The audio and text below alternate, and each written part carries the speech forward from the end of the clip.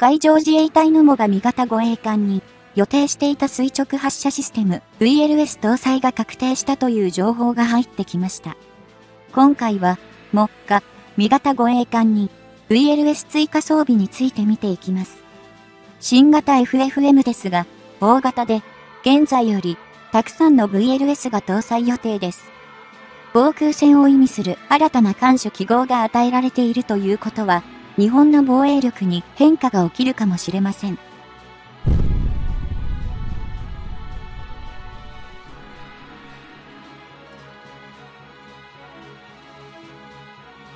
海地が配備を進めている FFM もが、味型護衛艦に後日装備となっていた艦対空ミサイルなどが発射できる垂直発射システム VLS バーティカルローンチイングシステムに予算がつきました。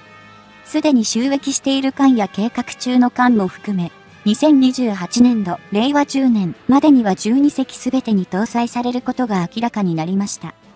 実はもが、味型護衛艦への VLS 搭載については、これまで予定などは明らかにされていませんでした。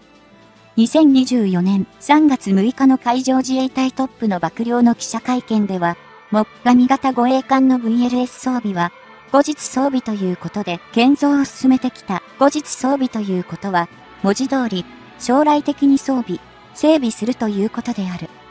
将来的に適切な時期の装備を予定している。決して、何らかの理由によって遅れているというものではないと述べ、何らかの要因によって装備できないというわけではないと説明、言い訳しました。また、目下、味型の VLS 装置については、令和5年度予算ですでに調達済みだから、装備は、部隊運用に影響を及ぼさないように、適切な時期に実施していくとも述べ、もが、味型護衛艦が、当初からの計画通り、防空、対空能力を備えた艦艇になると認識しているとも語り、防衛省は、2023年度予算においてもが、味型護衛艦10隻分に、VLS マーク41を装備するための整備費用として、実際に787億円を計上したと明らかにしました。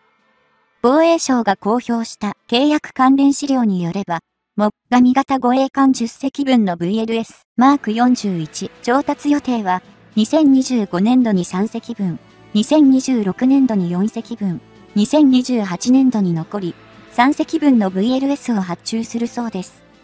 ライセンス生産している三菱重工業から納入される予定とみられ、2025年度の計画である11番艦及び12番艦には、建造当初から VLS を装備する予定ということです。日本企業としては、唯一、アメリカ政府の認可を受けて、マーク41の製造企業のロッキード・マーチンと技術援助契約を締結しているのが三菱重工業です。武器等製造法に基づくライセンス生産の許可も受けています。マーク41とは、現在、西側諸国で最も多く運用されている垂直発射装置で、これまでに11カ国の海軍で16クラス173隻の艦艇に搭載されている人気の装置ということでしょう。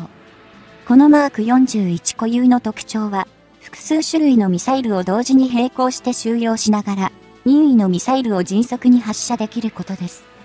つまり、複合的な脅威への優れた対応能力があり、1秒に1発という速いペースでミサイルが発射できるのです。ミサイルというと、高額というイメージですね。ミサイル1発あたりコストは、旧式のマーク26の半分ほどで、省力性にも優れているということです。一例ですが、アメリカ海軍のミサイル巡洋艦隊コンデロガ級は、マーク26搭載艦では、11名の操作要員が必要でしたが、マーク41搭載艦では8名に削減されているそうです。人手不足に対応しているとも言えますね。目下、味型護衛艦には FFM という新しい監視記号が与えられています。これは、開示として、これまでにない監視という意味もあります。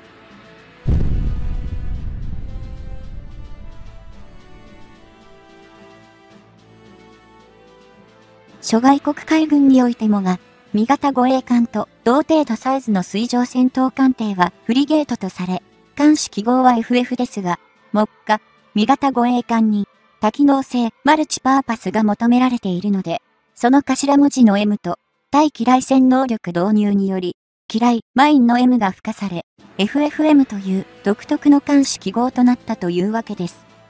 FFM に対機雷戦能力が導入された理由は、日本周辺の国際情勢の近年の変化が背景にあります。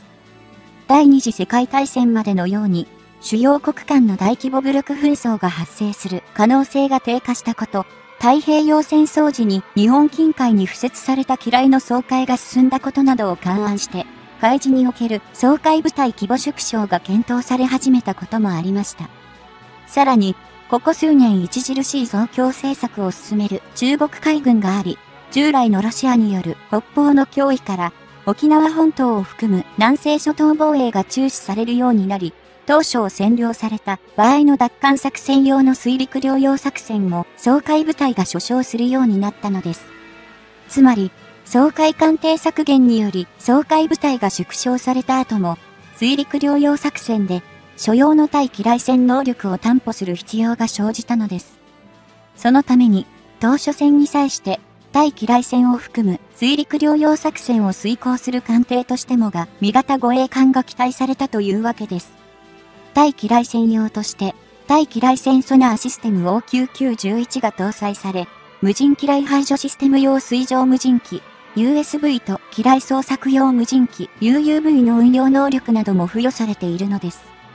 も、が味型護衛艦には、設計段階ではマーク41が16セル搭載される予定になっていましたが、ここに来てやっと搭載する予算が付けられた状況で、現時点では VLS のないフリゲートとなります。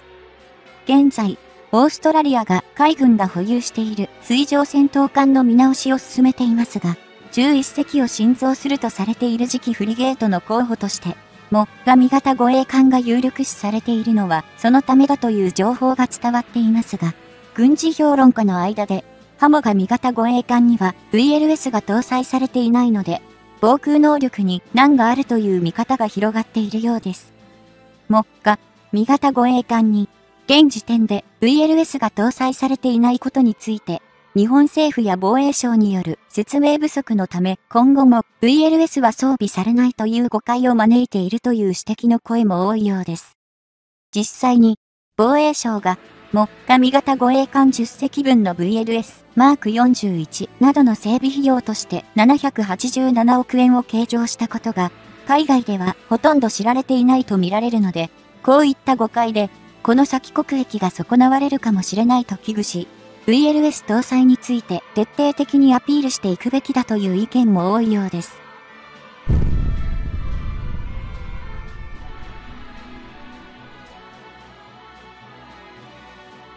海上自衛隊ハモが、味型護衛艦に16セルの VLS を搭載した後、艦対空ミサイルも搭載する計画はありません。丸7式垂直発射魚雷投射ロケットのみを搭載し、FFM に艦隊防空を担当させる運用はしない方針と思われます。防衛省では、当初もが、味型護衛艦を22隻建造する計画でしたが、2023年1月25日、新型 FFM にかかる企画提案契約の参加希望者募集要領を講じ、もが、味型護衛艦の建造は12隻で終了。さらに、新型の FFM を10隻建造すると公表しました。さらに、8月31日、新型 FFM を2024年度、令和6年度、計画から6年間で毎年2隻ずつ合計12隻建造すると公表。1番艦と2番艦の建造費として1747億円を要求しています。この新型 FFM ともが味型を比べてみます。基準排水量が、目下、味型3900トンに対し4880トン前後になり、全長133.0メートルから約142メートルへと10メートル近く長くなっています。一言で表せば大きくなったということですね。ですから、艦隊規模で見ると、駆逐艦を意味する DD の艦種記号を持つ汎用護衛艦村雨型の基準排水量4550トン、高波型艦の基準排水量4650トンを上回っているのです。